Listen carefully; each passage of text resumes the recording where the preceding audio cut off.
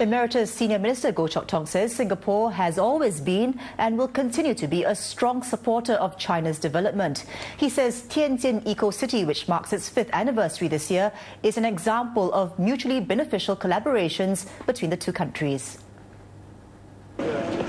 Visiting the Tianjin Eco-City, Mr. Goh said he was very impressed by the skill and progress of its development, having transformed from a barren land into a livable environment. The Eco-City is also on track to become the first city in China to provide 100% potable water direct from the tap to residents and businesses.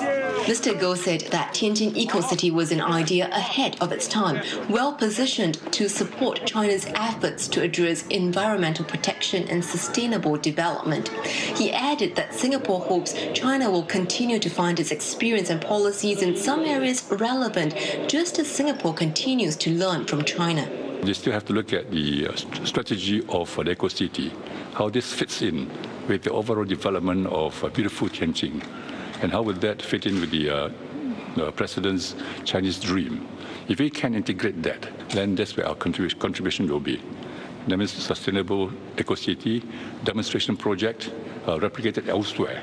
When asked about the possibility of a third government to government project between Singapore and China, Mr. Goh said that was for the cabinet to decide.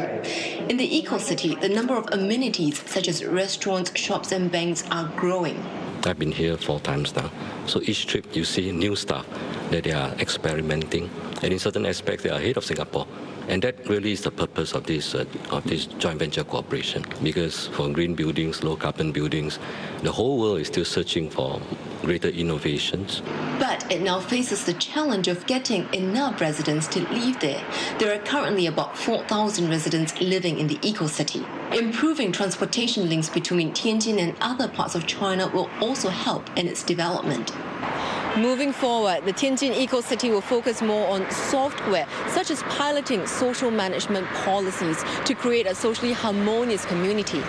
Also, to realize its vision of becoming a thought leader in the field of eco development, it will also be essential to bring in more green companies as well as to put more resources into R&D.